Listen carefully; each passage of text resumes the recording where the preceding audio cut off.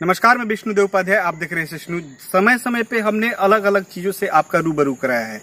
और हमारा देश जो है, संस्कृति का देश है, सभ्यता का देश है, और जब भी त्योहार आते हैं हर एक त्योहार को लेकर के एक अलग ही आनंद होता है, एक अलग ही उमंग होता है। और खास करके जब बात करें श्रावण महीने की तो यहाँ तो भजन के लाइन लग जाते हैं।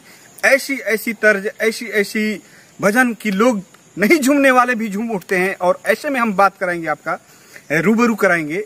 एक जाने माने उभरे हुए संगीतकार, जो जिनका लगन ही उसमें है, संगीत में है पवन पुत्र जी। पवन पुत्र जी चूँकि हर विषय से और हर हमारी जो संस्कृति है, हर त्योहार है, उससे जुड़ी जुड़ी कोई ना कोई संगीत उनका मार्केट में आ ही जाता है। या यदा कदा आप कहीं ना कहीं उनका देख ही लेते हैं। आइए उनसे रूबरू कराते हैं और उनसे जानने का प्रयास करते हैं, आखिर क्या सोच रखते हैं वो हमारे त्योहारों को लेकर। पवन जी, सबसे पहले तो इस भारत की सभ्यता में और हमारे इस चैनल में आपका बहुत बहुत स्वागत। जी बहुत बहुत धन्यवाद। और आपके चैनल से जितना भी भैया चाचा माई बहन देख रहा बड़ी है आप सबकी यहीं से चरण स्पर्श प्रणाम कर रहा बनी। हम आप सबके भाई आप सबके दोस्त आप सबके बेटा पवन पुत्र। जी हमारे यहाँ जब भी त्योहार आता है चाहे नवरात्रि का महीना हो या श्रावण का महीना हो या श्री कृष्ण जन्माष्टमी का महीना हो तो हमारे यहाँ अलग अलग संगीत निकलने लगते हैं और हर मौसम को देखते हुए संगीत है। गर्मी को देख करके बरसात को देख करके। अभी श्रावण महीना चल रहा है। श्रावण में कैसे देख रहे हैं? किस कैसे कैसे लुभावने संगीत आते हैं हमारे यहाँ? हालाँकि आज से दो चार साल पहले पाँच साल पहले कुछ अच्छा आवत रहे। आज थोड़ा सा जमाना मॉडल हो गई बा आज सब बाबा के वीडियो पियावल जाता शराबो पिया देवल जाता पता न का का। गाना में आ रहा बा ब्रांड होला। हमारे भोलेनाथ तो जंगलों में विचरने वाले हैं। हाँ। वहाँ न बीड़ी मिलती है न शराब मिलती है। वहाँ तो जंगल की जड़ी बूटी भाँग मिलता है। ज़रूर। गांजे चढ़ाते हैं हो सकते हैं चढ़ाते होंगे। ऐसा मतलब मन, लोग बताते हैं। हाँ। लेकिन ये सब जो गाने निकल रहे हैं कहाँ से निकल के आ रहे हैं? कहाँ से ये उपज हो रही है इनकी? देखिए क्या है ना काल्पनिक कल्पना जो कल्पना मात्र है उसका कोई और छोर नहीं है। कुछ भी बना सकते हैं। मतलब माना जा सकता है ये कल्पना है काल्पनिक है। ये इसमें कोई सत्यता नहीं, नहीं, नहीं। बात करें श्रावण की तो श्रावण महीने में जो अलग अलग गाने होते हैं। श्रावण महीने के अलग अलग गाने होते हैं। हम्म। कांवड़िया लोग अलग गाते हैं कजली अलग गाई जाती है और भी बहुत सारे गाने होते हैं। अभी आपका सावन में क्या आ रहा है? दर्शकों के लिए क्या ला रहे हैं? बहुत सही समय पर ये पूछनी है सवाल हमसे।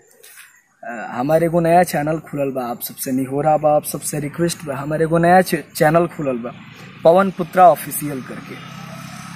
फ़र्स्ट कंटेंट चढ़ल बा और अच्छा खासा प्यार प्यार दुलार मिल रहा बा पब्लिक के भैया चाचा भाई बहन के। इस सही समय चलते कहनी कि कल बुधवार के ही हमारे को सावन के गाना आ रहा बा।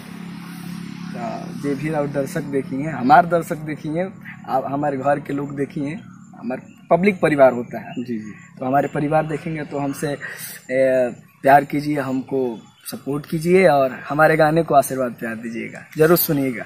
जी। श्रावण में क्या ला रहे हैं? सावन में अभी तो खुलासा नहीं कर सकते हैं। अच्छा।